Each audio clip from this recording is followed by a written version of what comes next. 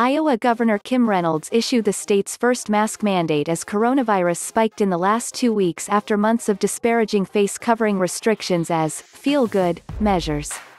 Reynolds, a Republican, announced Monday evening that all people above the age of two were required to wear face coverings indoors as the state's health care system was being pushed to the brink.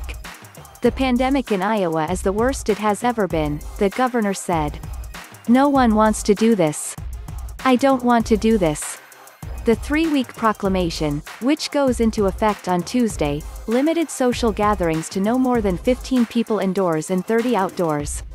The directive also restricted the operating hours of bars and restaurants between 6 a.m. to 10 p.m., while permitting takeout and drive-through services outside of that time window. If Iowans don't buy into this, we lose, Reynolds said. Businesses will close once again, more schools will be forced to go online, and our healthcare system will fail. The cost in human life will be high, she said.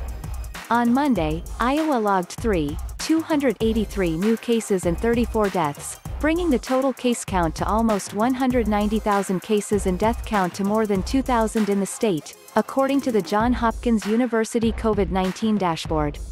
The dire numbers came as the United States crossed the 11 million COVID-19 case mark on Sunday.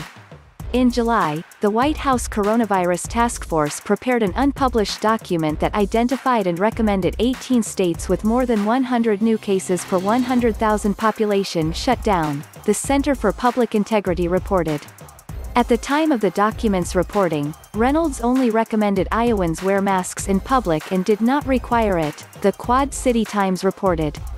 In an interview with WHOAM Radio on July 15, Reynolds resisted calls to issue a mask mandate for the state. No, I'm not going to mandate masks, Reynolds said. There's no way to enforce it. Most of the states or entities that have done that, they've actually gone as far as to say we're not going to enforce it, so it's just kind of a feel-good. Quote.